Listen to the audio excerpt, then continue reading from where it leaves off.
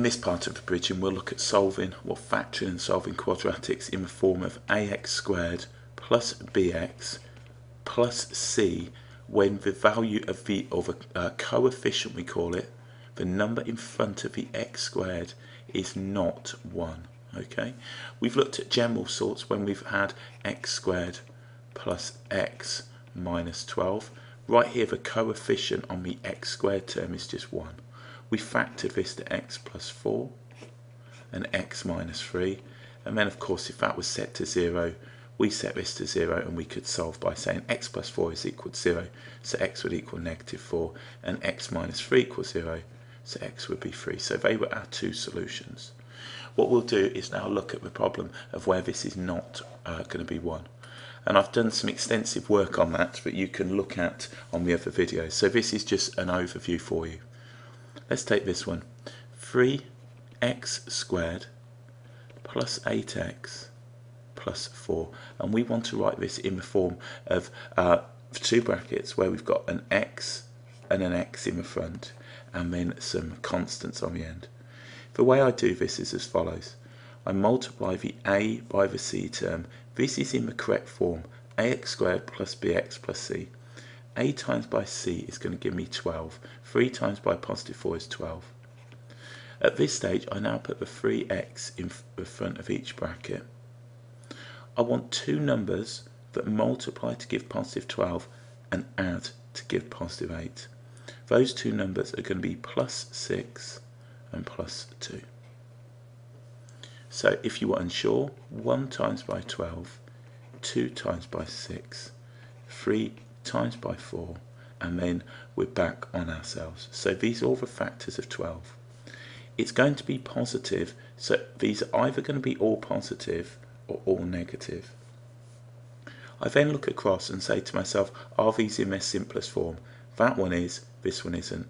Common factor of 3 comes outside and we have x plus 2 and then leave the second bracket as it's in its simplest form. We can simply get rid of that. So what we've got now is 3x plus 2 as one linear factor, x plus 2 as another linear factor. And if you expand this out, you'll get straight back to that right there. Let's do another one.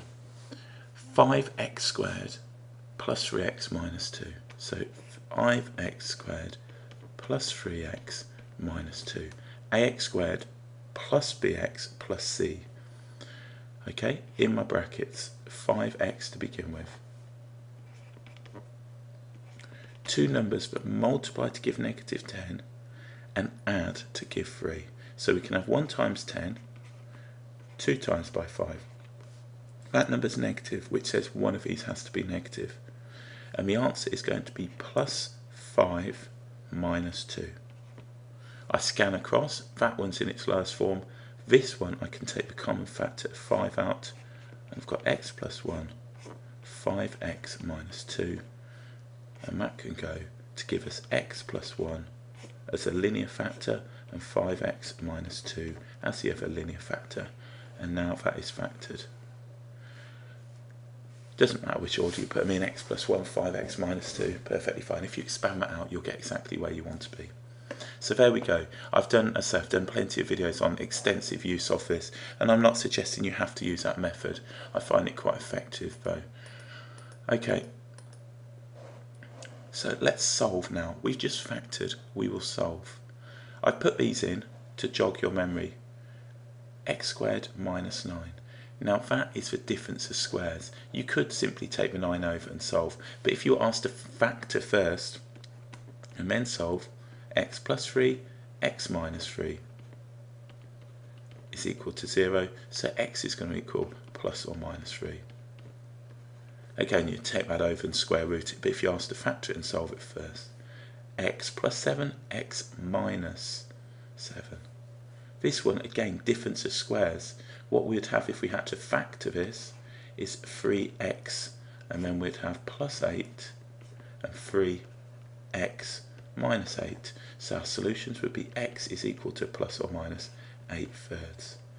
So that's sort of linking the two parts. These are difference of squares. So let's solve one of these problems here. let's take this one right now. Firstly, is it in the correct form? ax squared plus bx plus c equals 0? It certainly is. So we've got 4x squared plus x minus 3 is equal to 0.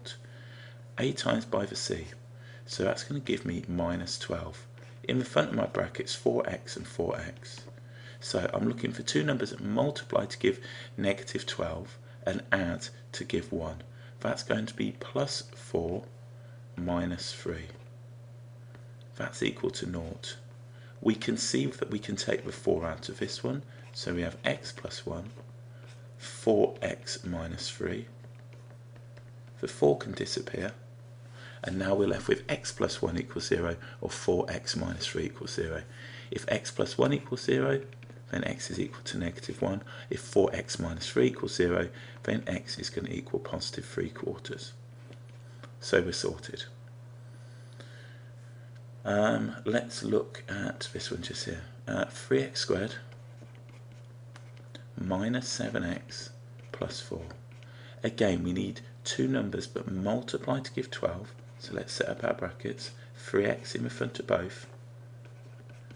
Two numbers that multiply to give 12 and add to give minus 7.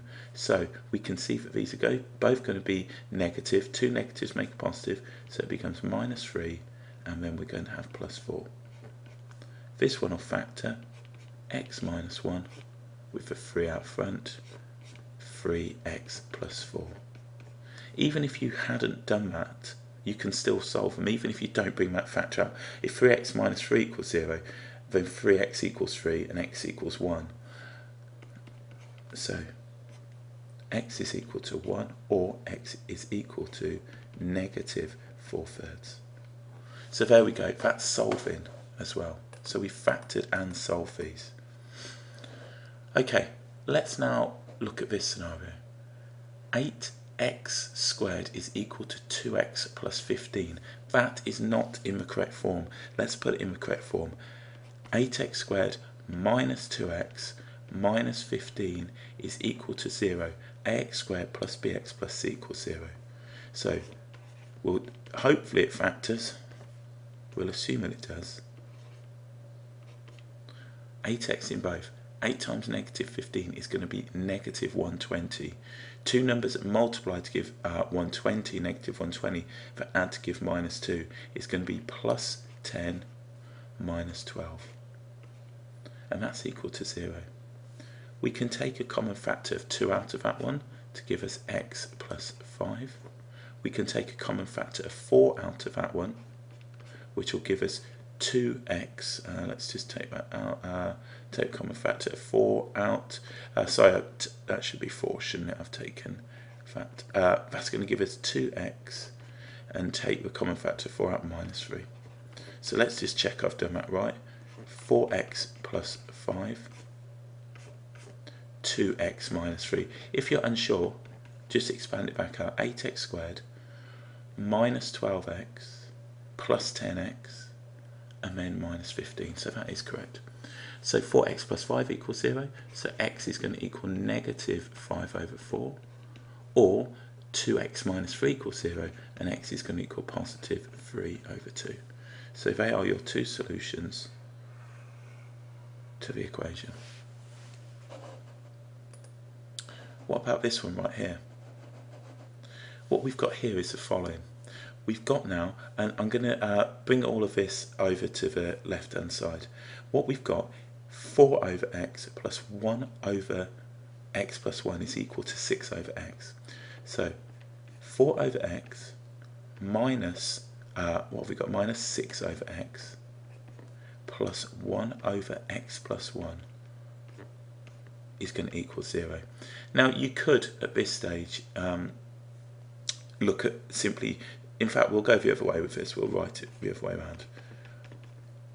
Okay, I'm going to subtract the 4 over x from both sides, which will leave me now uh, with 2 over x. Now at this stage, if we simply multiply up, now all I've done is subtracted 4 over x from both sides. The scenario that we've got here now is following. All I've got to do is multiply it that way and multiply it that way, and we get x is equal to 2 x plus 1. and you can see that that isn't even a quadratic. We've got away with that one. So that is simply uh, another linear equation. So we don't need to focus on that. Don't know why it was tagged on. Now let's look at this scenario. We've got 3x squared plus 6x is equal to 24. That is not in the correct form. So let's get it in ax squared plus bx plus c is equal to 0. You're looking at that hopefully and thinking you can do something with it. You certainly can. Let's take the common factor of 3 out by dividing by 3. That will give me x squared plus, taking a common factor of 3 out, 2x, taking a common factor of 3 out minus 8 is equal to 0, and this will be x plus 4 and x minus 2 equals 0. So we did not have to go through the rigmarole of finding the factors. 3 times by 24 is 72, and you don't really want to be going that high unless it's necessary. So with this one, you can split that one, divide that out by 2, and it will make it slightly easier for you. So that's factoring and solving. Sometimes you'll come across where, uh, examples where you simply cannot um, solve with factoring and we have to use a quadratic equation. And whilst the start of A level is non-calculator you need to be able to do this especially if you're doing some of the applied stuff. We'll solve this one right here. Um, in fact let's oh okay we'll do this one. That is in the correct form. So ax squared plus bx plus c. So a is going to equal 1, b is going to equal 4, and c, and it's important, is equal to negative 6. What we have is a quadratic equation. It says minus b plus or minus the square root of b squared minus 4ac all over 2a.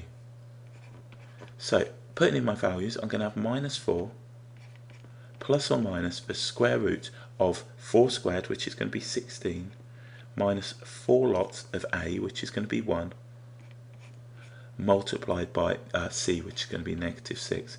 And all of that is over 2a, which is 2. So this is going to give us an answer. And what we'll do, we'll put this through the uh, calculator. So again, it's in the correct form, x squared plus bx plus c. So all we need to do is set this up once. And it's going to be negative, and you ideally use this as your negative. Negative 4 plus or minus the square root of 4 squared, or uh, which is going to be 16, minus 4 lots of a, which is 1, times by c, which is negative 6. And all of that is over 2a, which is going to be just 2 our first solution and that's what we call exact form, surd form. When we go on to the next video we'll look at completing the square and leaving answers in the surd form.